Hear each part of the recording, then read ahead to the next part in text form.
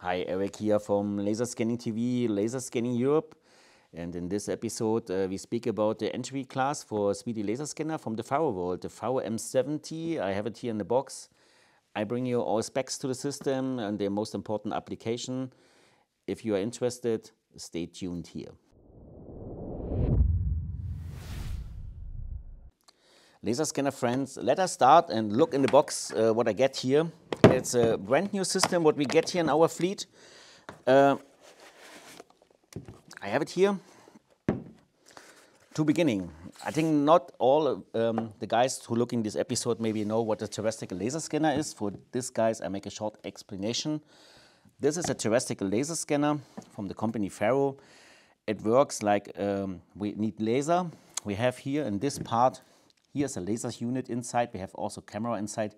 Here's a motor inside who runs this mirror. We have an additional motor who is internal in the system, who can turn the system.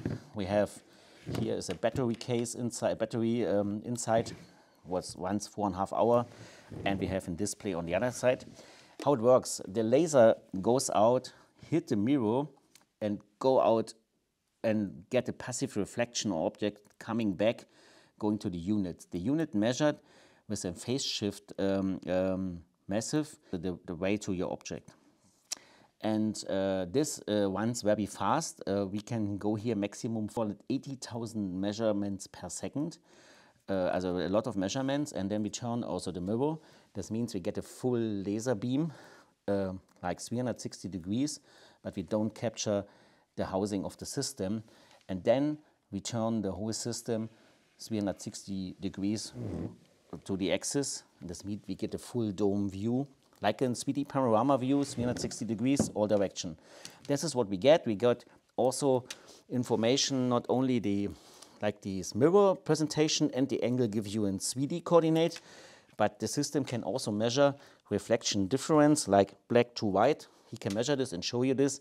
And if you need color, he has an integrated camera. After that, he can make an, uh, a panorama one capture color information like a 360 degrees uh, color picture and we can overlay the point cloud with the picture. That is the basic workflow. Uh, I start the scanner here. It's maybe uh, took a little bit time. Now it's starting. Why I started is I show you this. We have here the big display in the system. Um, many people say, oh, can I run it by mobile phone? That's also possible. But I like the display because the, the, the display make you uh, and, and, the um, option to one um, give you all your information here inside and see the results make you independent from any connection. Like if you're going in, they have an inline in, internal WLAN hotspot. If you maybe go in a um, big uh, fabric where you have big machines, big motors, maybe you have an electromagnetic uh, uh, field there and your WLAN connection is not running stable. I like that, that you have these option to run everything from the system out. That's my personal point. The main important is if you come from the Faro world, what's the difference to the more higher series systems? It's uh, one is um, what most customer ask me what is the difference. The difference are two points. One is uh, the accuracy of the system. This have a systematic distance error from plus minus three millimeters on 25 meters on a white surface or um, like a perfect uh, reflection surface. S-series has plus minus one on the same area. Also this is one difference. We have also a little bit higher noise on some um, surfaces uh, to the higher uh, system. There's another difference. And the third big difference is we have um, lower maximum scan speed. Also here is the maximum scan speed 480,000 measurement per second. With the S series you can go up to 1 million and the S150 Plus can up to 2 million. Also here a little bit lower in the maximum speed uh, with this system. Everything else is pretty the same. You have an, uh, uh also internal camera. You have normal mode and HDR mode. The camera have 160, 65 million uh, points and you have uh, up to five time HDR mode. You have a very low parallax because the cameras sit here in the same area inside. Um, and all other things is what I said to you, you have an WLAN um, access point, you can control it by your mobile phone. You have a um, compensator and two axes, which have 19 arc seconds. It's pretty good. It, um, for this, uh, it's the same like on the S-Class. Series systems. Uh, you have a compensator for the high, for the compass, and you have also an internal GPS system, but it's more for pre-registration. This is not a very precise system. It's like more your mobile phone GPS. Uh, what is also a difference is is a little bit the, the, the operation temperature is 5 to 40 degrees. Uh, I think the bigger ones is 0 to 40. Uh, but you have also with some accessory, you have an um, external, uh, you have an also the option to have an advanced operation temperature from minus, um, 20 to plus 55. That's um, an option. And it's an IP54 like the other system and laser class 1 also. And I give you one information what was not in the German video. This system have no option for the accessory. I think the accessory bay, what is behind them, where you can put external systems on it. This is only works in the S-Class. The M-Class don't have this option, like the external panorama camera or the scan indicator that you don't can put here. Uh, this, but this is very specific, uh, but I give it to you. Okay, also a summary. Uh, we have um, this. Uh, we have, but we have the same resolution like the S-Class. Maximum resolution is 1.5 or 1.3 millimeters, as a distance from two points and 10 meter difference from the scanner. That's pretty good. It's state of the art, like uh, all high class scanner have it. And um, you have a very good resolution. You are good also with the system outside. Uh, you have a little bit more noise in the point cloud on complicated surface uh, to NAS class. You are a little bit lower with the speed. Uh, and you have a little bit more inaccuracy in the distance measurement. That's are the difference to the high class system. Uh, the advantage is high class system is like an S150 or something it's uh, or an S70 would have the same range. A 70 meter maximum range at 70 meters. It's like the price is more 40% more for an S to an M, and that is where the customer group is, or um, it's more the people that need a very good scanner, but they don't need the highest and the best one. And on the market, because there may be some people asked, what is with the entry system? Everybody knows this Leica BLK 360 is the lowest price scanner. That starts below $20,000. Uh, what is the difference here?